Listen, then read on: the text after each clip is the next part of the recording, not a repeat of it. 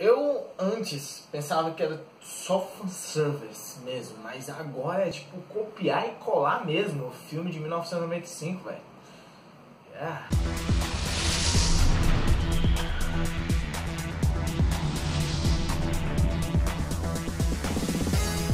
Então, saiu um novo trailer de Vigilante do Amanhã, Ghost in the Shell, que é um filme estrelado por Scarlett fucking Johansson, adaptação do anime Ghost in the Shell. A parada é o seguinte, esse trailer mostrou bastante mais da história, como ela vai ser desenvolvida e tudo mais.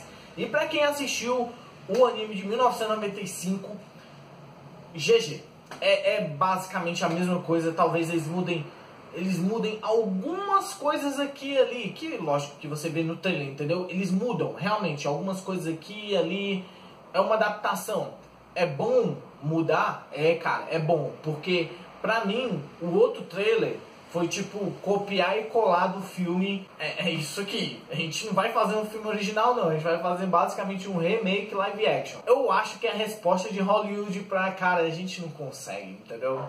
vamos fazer qualquer coisa que tenha anime no meio, a gente não consegue fazer uma adaptação que preste, então a gente vai simplesmente copiar e colar aqui e esperar pelo melhor. As pessoas que já assistiram um outro filme, foda-se, entendeu? Eles não são a maioria. O lado positivo que eu vejo nisso é que Ghost in the Shell ele traz muitas questões, sabe, para você questionar e tudo mais, que até o trailer realmente ele mostra sobre negócio de memória, o que é real, o que não é real, passado, legal.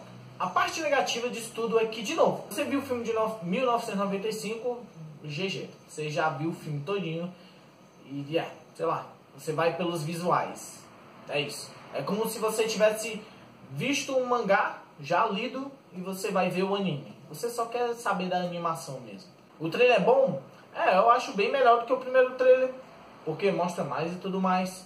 Agora, o que não me agrada é o, a parte da adaptação, que eles ficaram com medo de adaptar. Agora eles simplesmente estão copiando e colando a história.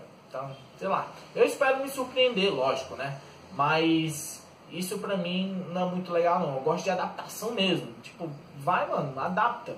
Você não pode ir longe demais. Você pode contar uma história diferente sabe? No mesmo mundo, você sentir que tá no mundo de Ghost in the Shell, mas não precisa ser a mesma história. Mas bem, eu acho que é isso, velho. Parece decente, interessante. E bem, é isso aí. Não se esqueça aqui de clicar nesses dois vídeos e para eles e ser feliz e tudo mais. Comenta aqui embaixo, se inscreve no canal e yeah, é isso aí. Site Multiverso também na, na descrição do vídeo.